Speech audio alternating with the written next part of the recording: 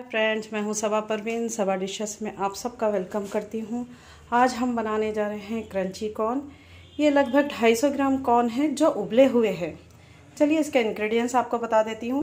सबसे पहले मैंने लिया है एक टीस्पून लाल मिर्च हाफ़ टी स्पून नमक half teaspoon chaat masala half teaspoon आमचूर पाउडर हाफ़ टी स्पून काला नमक, एक चुटकी हल्दी एक चुटकी से भी कम सोडा।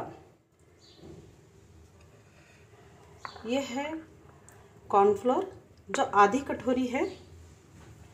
आधी कटोरी से भी कम मैदा। हम इन दोनों को ज़रूरत के मुताबिक यूज़ करेंगे। लेमन जूस, बिल्कुल दो चार ड्रॉप इसके। चलिए इसे बनाना स्टार्ट करते हैं। सबसे पहले मैं कॉर्नफ्लोर डाल रही हूँ। तीन से चार चम्मच। दो चम्मच मैदा। और बाकी सब मसाले।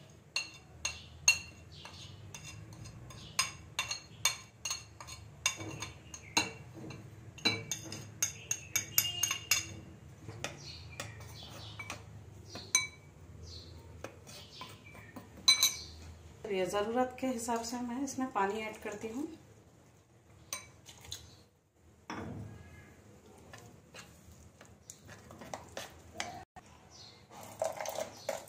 ये बैटर को हमें पतला ही रखना है। ज़्यादा गाढ़ा नहीं करना है। लगभग इस तरीके से पतला होना चाहिए।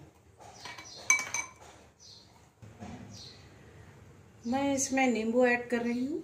दो चार ड्रॉप इसके। चलिए आप इसमें कॉर्न ऐड करती हूँ।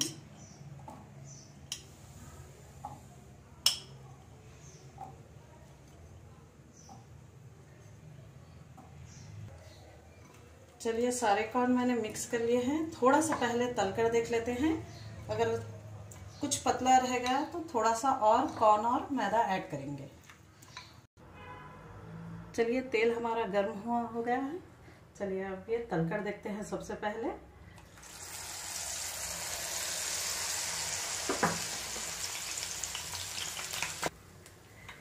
ये देखिए परफेक्ट हुए हैं। चलिए इसी तरह से ही सारे कॉर्न को हम डीप फ्राई कर लेते हैं।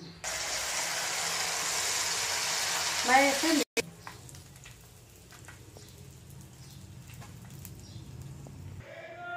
चलिए ये हमारे कॉर्न रेडी हो गए हैं। ऊपर से क्रंची और अंदर से सॉफ्ट और वेरी टेस्टी